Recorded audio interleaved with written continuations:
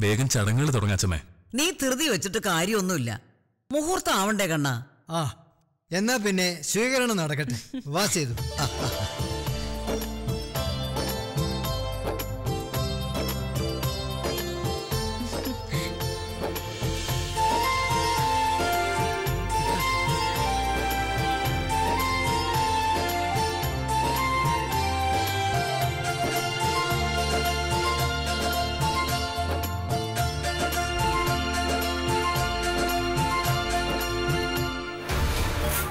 സത്യമാണ് നീ പറയുന്നത്. അതെ ഏട്ടാ ഏട്ടൻ ഒന്ന് വന്ന.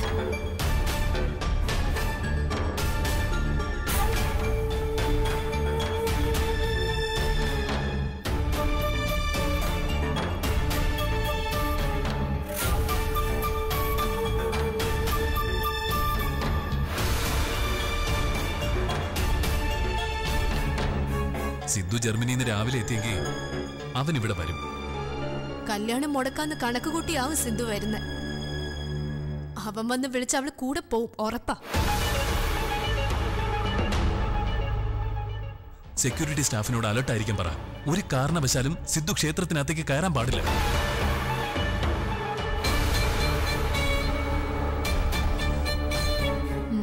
ശരി ഏട്ടാ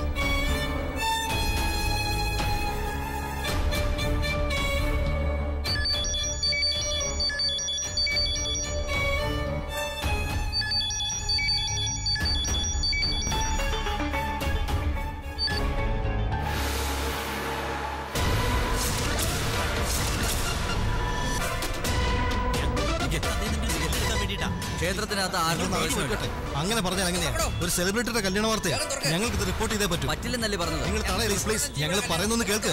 ഞങ്ങളൊന്ന് കടത്തിവിടൂ. പറ്റില്ല പറ്റില്ല. ആർക്കും കയറാൻ പറ്റില്ല. കടത്തി വിടത്തില്ല. ഇത് റിപ്പോർട്ട് ചെയ്തേ. പ്ലീസ് പ്ലീസ് കയറാൻ പറ്റില്ല. പ്ലീസ് ഞാൻ പറയുന്നൊന്ന് കേക്ക്. പ്രവേശനമില്ലേ? പ്ലീസ് നിങ്ങൾ എല്ലാവരും സഹകരിക്കണം. തികച്ചും സ്വകാര്യമായ ഒരു ചടങ്ങാണിത്. അടുത്ത ബന്ധുക്കൾക്ക് മാത്രമേ പ്രവേശനമുള്ളൂ. കല്യാണം രഹസ്യമായി നടത്താൻ എന്താ കാരണം? ഈശ്വര മഠത്തിലെ കല്യാണങ്ങളെല്ലാം ഈ ക്ഷേത്രത്തിൽ വെച്ച് ലളിതമായി നടത്താറുണ്ട്. നിങ്ങൾക്ക് എല്ലാവർക്കും വൈകുന്നേരം റിസപ്ഷൻ വെച്ചിട്ടുണ്ട്. ഇൻവിറ്റേഷൻ എല്ലാ മീഡിയകൾക്കും അയച്ചിട്ടുണ്ട്. ഒരു നിമിഷം. നിങ്ങൾ ഒരു നിമിഷത്തേക്ക് കേട്ടിവിടെ. ഏയ് നിങ്ങൾ പറയുന്ന ഫോട്ടോ എടുത്തോട്ടെ?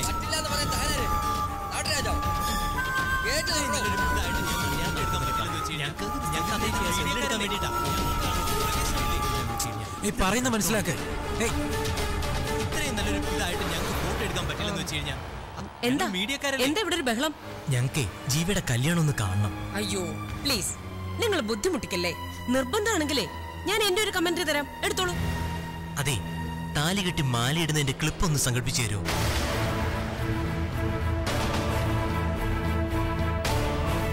ആം, അതിന് കാശ് കിട്ടുമോ? തരാം. പക്ഷേ ക്ലിപ്പ് എനിക്ക് മാത്രമേ തരാവൂ.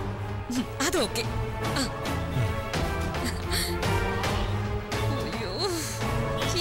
ഞാൻ കലക്കും. വലിയ പ്രതീക്ഷയോടെ ഇപ്പൊ എല്ലാം പിടിച്ചു നിർത്തിയിരിക്കുകയാണ് ആ, എങ്ങോട്ടാ? ജീവയുടെ കല്യാണമല്ലേ? നിന്നെ ആരെങ്കിലും ഇങ്ങോട്ട് ക്ഷണിച്ചിട്ടുണ്ടോ? അവന്റെ കല്യാണത്തിന് എനിക്ക് എന്തിനാ ക്ഷണം? അത് നടത്തി കൊടുക്കേണ്ടവനല്ലേ ഞാൻ. വെറുതെ വാചം അടിക്കാതെ സ്ഥലം വിടാൻ നോക്ക്. ഇല്ല ഞാൻ പോവില്ല. എനിക്ക് കല്യാണം കൂടിയേ പറ്റൂ.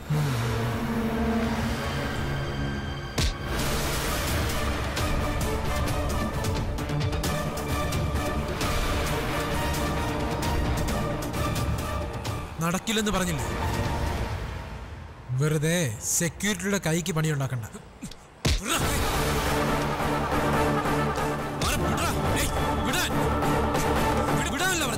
ആരാധന മുത്ത് ഭ്രാന്തായതാ അവനിപ്പോ കല്യാണം കൂടിയേ പറ്റൂ ഞങ്ങൾക്ക് ഇത് റിപ്പോർട്ട് ചെയ്തേ പറ്റും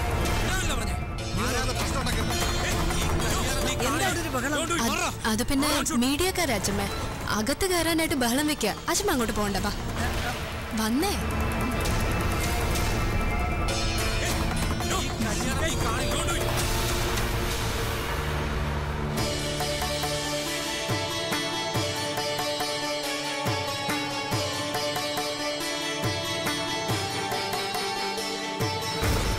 കല്യാണം നീ കാണില്ല. മാറാ മാറാൻ ഏട്ടന്റെ കല്യാണം അലങ്കോലം ആക്കാൻ ശ്രമിച്ച നിന്നെ കുറച്ച് വാർത്ത വരണ്ടെങ്കിൽ വേഗം സ്ഥലം വിട്ടോ. ഓക്കെ. Okay okay. ഞാൻ പോയിക്കോളാം. ജീവിക്ക് മുമ്പിൽ ഞാൻ ഇത്ര വെറുക്കപ്പെട്ടവനായെന്ന് അറിഞ്ഞില്ല. അത് അവനോടൊന്ന് പറഞ്ഞേക്കാം. ഓ. വേണ്ട വീട്ടിൽ തന്നെ ബോധിപ്പിച്ചോളാം. ചെല്ല്.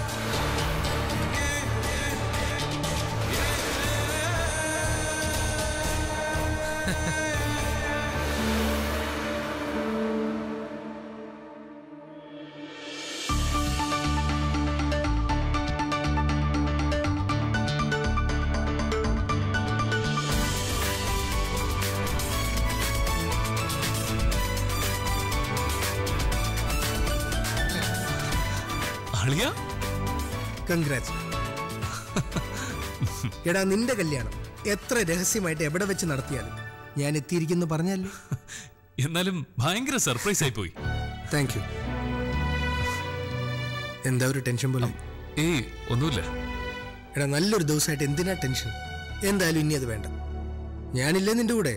ചടങ്ങുകൾ ഗംഭീരാക്കിയിട്ട് ഞാൻ പോകും. അപ്പം ബി ഹാപ്പി പറഞ്ഞ പോലെ. ആ.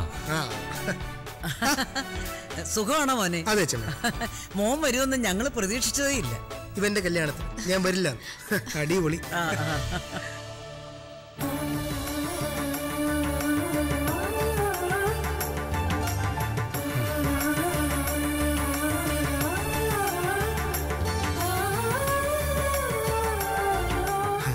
നിന്റെ സെലക്ഷൻ സൂപ്പറാണല്ലോ ലവ വിശേഷമൊക്കെ പിന്നെ പറയാം. ചടങ്ങ് തുടങ്ങണ്ടേ ശരിയാണല്ലോ. ഇന്നത്തെ പ്രധാന കാര്യം അതാണല്ലോ.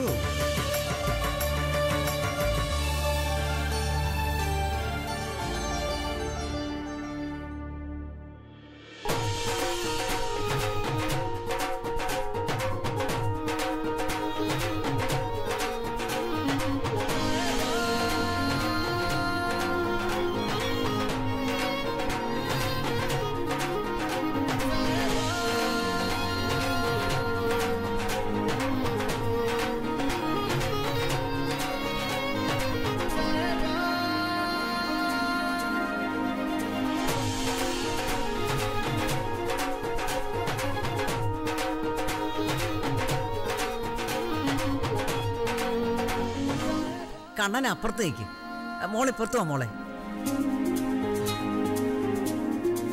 രണ്ടുപേരും ഭഗവതിയെ പ്രാർത്ഥിച്ചോളൂ.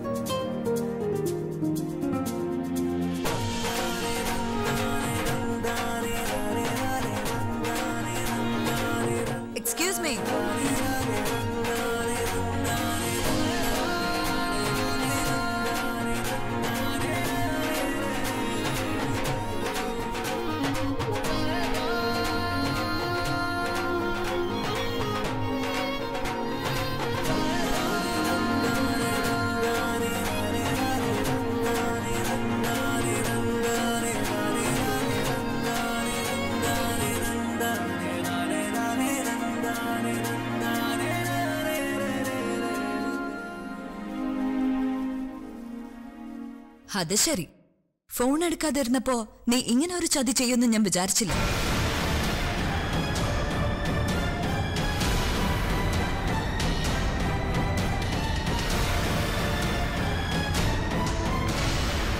ഇത്രയും കാലം ഇവന് എന്നോടായിരുന്നു പ്രേമം.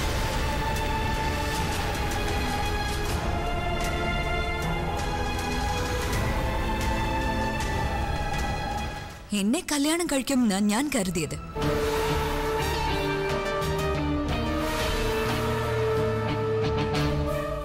എന്നിട്ടപ്പോ എന്നെ നൈസായിട്ട് ഒഴിവാക്കിയല്ലേ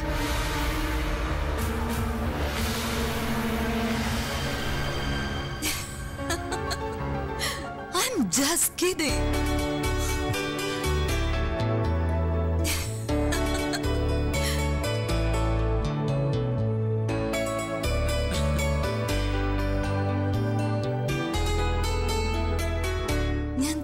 പറഞ്ഞത്. Anyway wish you both a very happy married life thank you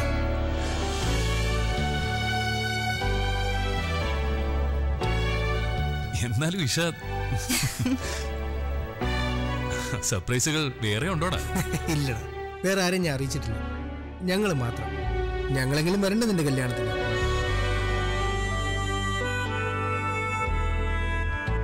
ഏതായാലും കെട്ട് കിടക്കട്ടെ.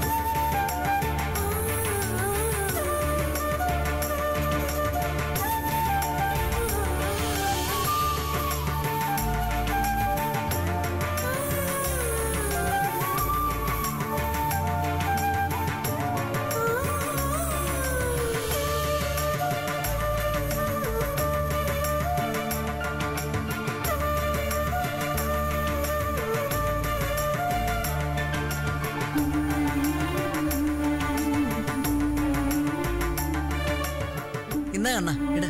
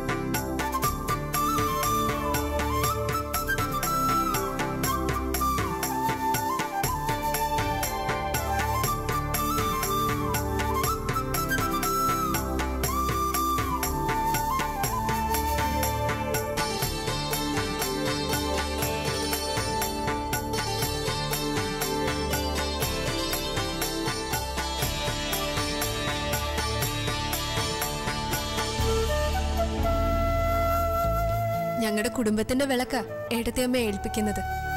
അണയാതെ കാലത്ത് സൂക്ഷിക്കേണ്ടത് ഏട്ടത്തിയമ്മയുടെ കടമയാ. അതിന് കഴിവുള്ള ആളെ തന്നെയാ മോളെ അച്ചമ്മ കൊണ്ടുവന്നിരിക്കുന്നത്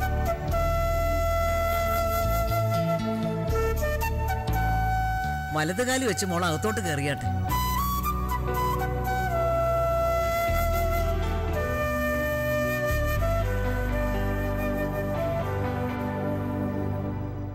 അതെ ഇപ്പൊ ഈ വിളക്ക് കെട്ട നല്ല രസമായിരിക്കും അല്ലേ? ഒന്ന് നോക്കിയാലോ?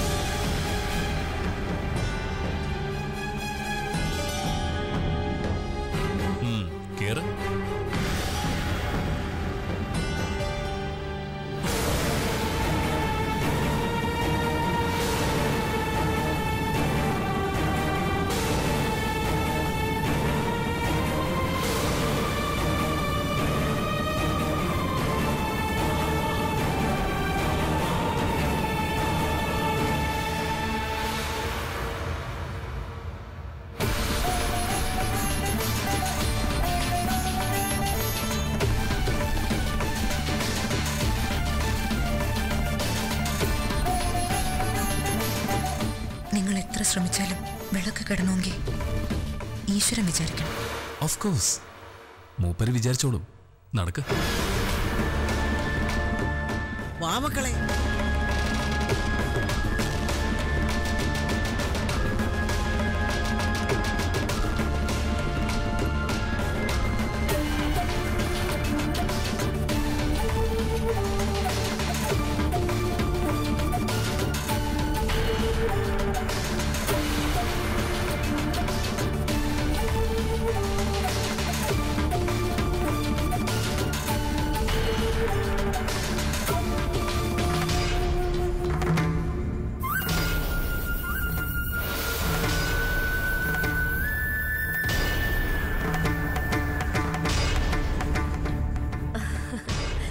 പുതുപ്പെണ്ണ് അമ്മായിയമ്മയ്ക്ക് വളയിടുന്ന ഒരു ചടങ്ങുണ്ടായിരുന്നു പറഞ്ഞു വരുമ്പോ ആ സ്ഥാനം എനിക്കാണല്ലോ.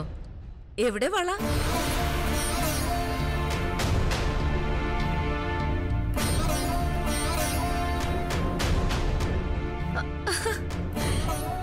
ഇതൊന്നും ആരും പറഞ്ഞു തന്നിട്ടില്ലേ കൊച്ചേ? ഓ പറഞ്ഞു തരണെങ്കിൽ സ്വബോധമുള്ള ആരെങ്കിലും വീട്ടിൽ വേണമല്ലോ.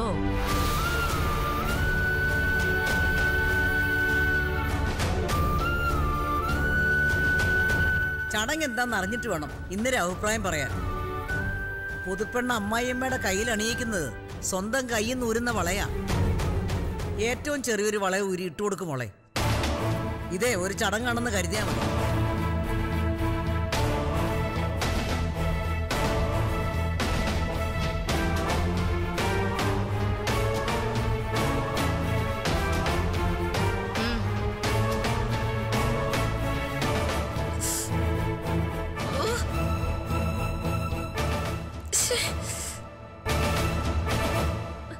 എന്റെ കയ്യിലെ തൊലി മുഴുവൻ കളയോ പെണ്ണേ? അമ്മയുടെ കൈയളവ് വാങ്ങി അതിനനുസരിച്ച് ഒരെണ്ണം കരുതേണ്ടതായിരുന്നു എടുത്ത അമ്മ. ഇനിയിപ്പൊ പറഞ്ഞിട്ടെന്താ കാര്യം? ഞാനും ഇന്ദിരയൊക്കെ തടിച്ചുമാരില്ലേ പ്രത്യേകിച്ച് ഇന്ദിരയുടെ കൈയെ ആനയുടെ തുമ്പിക്കൈ പോലെയാ. ഇതിന് ചേരുന്നത് പ്രത്യേകം പണിയിക്കേണ്ടി വരും. വളയിട്ടൊന്ന് സങ്കല്പിച്ച് മോളതും കൈ കൊടുത്താൽ മതി. അത്രേ ഉള്ളു കാര്യം.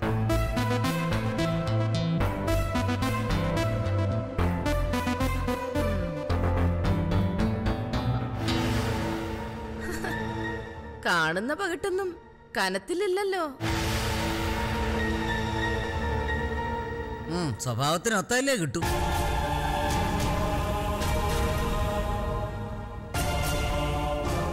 അല്ല എപ്പോഴാ റിസപ്ഷൻ? ഒരുങ്ങി തുടങ്ങണ്ടേ. റിസപ്ഷനോ? അതിന് ഹോൾ പോലും ബുക്ക് ചെയ്തിട്ടില്ലല്ലോ. അമ്മയുടെ ആഗ്രഹത്തിന് ജീവ ഇവളെ കല്യാണം കഴിച്ചു എന്നേ ഉള്ളൂ. ഇവൻ ഇപ്പോഴും ഇവളെ ഇഷ്ടമൊന്നുമല്ല.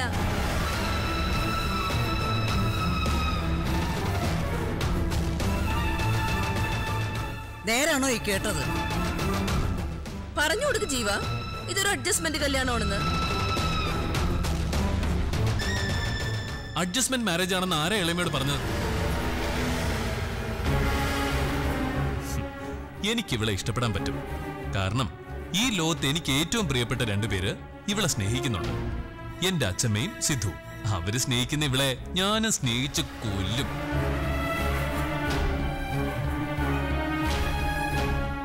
അത് മതി കണ്ണ. വലിയ റിസപ്ഷൻ നടത്തി ആർഭാടം കാട്ടുന്നതിലല്ല കാര്യം. മനസ്സുകൾ തമ്മിലുള്ള ചേർച്ചയിലാണ് കാര്യം. അതുണ്ടായ മാത്രം മതി. ആർഭാടമായി റിസപ്ഷൻ നടത്തണമെന്ന് ഏട്ടൻ ആഗ്രഹം ഉണ്ടായിരുന്നു അച്ഛമ്മേ. പക്ഷേ ഷോർട്ട് നോട്ടീസിൽ ഫിക്സ് ചെയ്ത കല്യാണമല്ലേ? നമ്മുടെ അന്തസ്സിന് പറ്റിയ ഹാൾ കിട്ടിയില്ല. അതാ റിസപ്ഷൻ ക്യാൻസൽ ചെയ്ത്. അല്ലാതെ അമ്മ പറയുന്ന പോലെ ഒരു പ്രശ്നവും ഇവരെ തമ്മിലില്ല.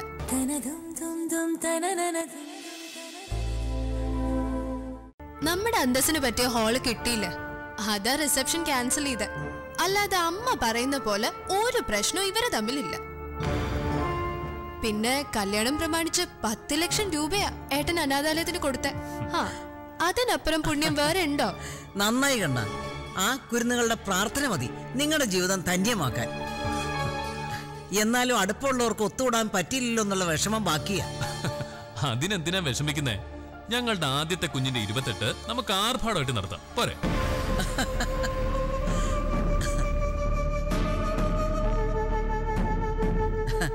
നിനക്ക് ഈ വേഷമൊക്കെ മാറണ്ടേ മോളെ? ഇവളെ നിന്റെ മുറിയിലോട്ട് കൊണ്ടുപോകും. രണ്ടുപേരും വേഷമൊക്കെ മാറിയിട്ട് വാ. ശരി ആ ശരി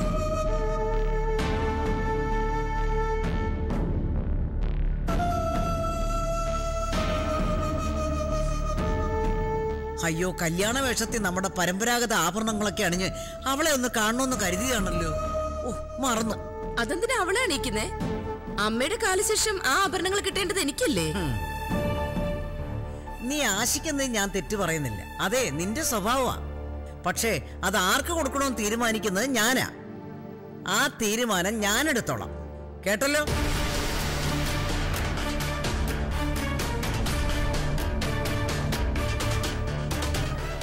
തൽക്കാലം അവളതൊന്ന് ഇട്ടോട്ടെ പക്ഷെ ഈശ്വര മഠത്തിലെ ട്രഡീഷണൽ ഓർണമെന്റ്സ് ഈ ശിവാനിക്കുള്ളതാ.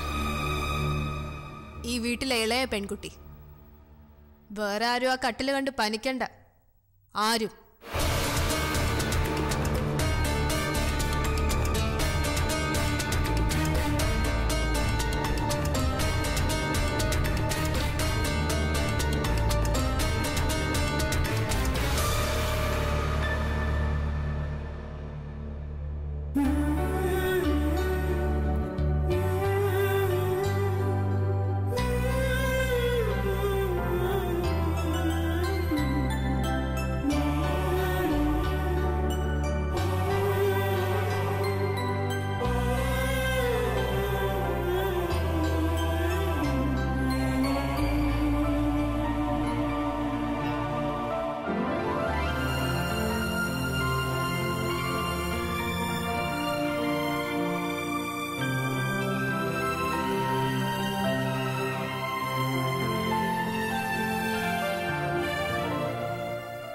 എങ്ങനെയുണ്ട് മുറി?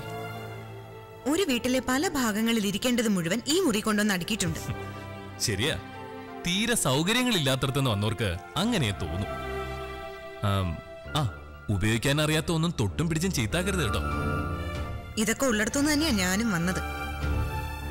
പക്ഷേ ഓരോ മുറിയിലും ഇതൊക്കെ വെച്ച് അലങ്കരിക്കുന്നതേ കുറച്ച് ആർഭാടമാണ് റിസപ്ഷന്റെ കാശ് അഗതികൾക്ക് കൊടുത്തതുപോലെ ഈ ചിലവാക്കുന്ന പണവും കൊടുക്കാമായിരുന്നു. റിസപ്ഷന്റെ കാശ് ഞാൻ അഗതികൾക്ക് കൊടുത്തു എന്നാണോ വിചാരിക്കുന്നത്?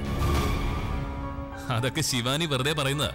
ഒറ്റ പൈസ വെറുതെ കളയുന്നത് എനിക്കിഷ്ടമല്ല. കഷ്ടപ്പെട്ട് സമ്പാദിക്കുന്നതല്ലേ? അതങ്ങനെ വലിച്ചെറിഞ്ഞ് കളയാൻ പറ്റൂ. അത്തരം വട്ടക്ക അച്ചമ്മയ്ക്കേ ഉള്ളൂ. പിന്നെ സിദ്ധുവിനും. അല്ല രണ്ടുപേരുടെ സഹാനുഭൂതിയെ കുറിച്ച് നിനക്കറിയായിരിക്കുമല്ലോ അറിയാം. രണ്ടുപേരുടെ മനസ്സിലെ നന്മ കണ്ടറിഞ്ഞവളാ ഞാൻ. അച്ചമ്മ ലോൺ ക്ലോസ് ചെയ്തതെന്നൊക്കെ എനിക്കറിയാം.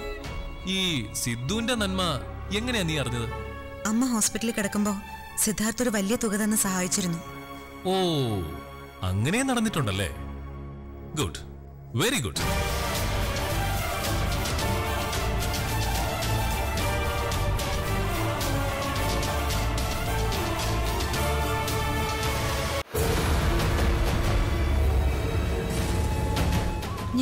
ജീവയുടെ വൈഫ് തന്നെയാ പറഞ്ഞു വരുമ്പോ നിന്നെക്കാളും സീനിയർ ജീവയെ അത്ര പെട്ടെന്നൊന്നും ഞാൻ വിട്ടുകൊടുക്കാൻ സമ്മതിക്കില്ല.